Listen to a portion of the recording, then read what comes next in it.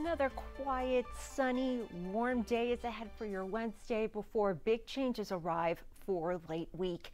I'm meteorologist Vanessa Alonso with your UF weather forecast. This morning we are waking up to a few clouds out there, temperatures in the mid 50s, but once we get the daytime heating from the sun and that onshore flow from the Atlantic, Temperatures are just going to warm up into the mid to upper 70s by early afternoon. Some spots could get up to near 80 degrees. Here's the breakdown of your high temperatures for today 80 for you, Gainesville into Ocala.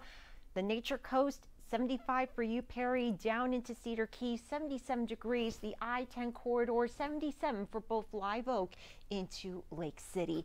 Let's go ahead and break down our rain and storm chances as we head into the second half of the work week. We are expecting a weak cold front to push through northern Florida today and then kind of stall out in central Florida before the main storm system arrives as we head into late Thursday night into our Friday. So by Thursday morning, clouds are going to really start building in, but the main moisture and activity is going to stay out to our west over the Gulf. And then expect those rain and storm chances to start picking up during the overnight hours on Thursday into your Friday. Not expecting anything strong, but of course, we are expecting some rumbles of thunder and some heavy rain, something we'll keep you updated on.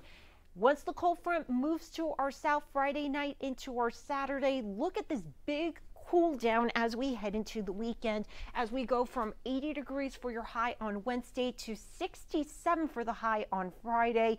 And that is going to stay that way through the weekend. At least we're going to have the sunshine.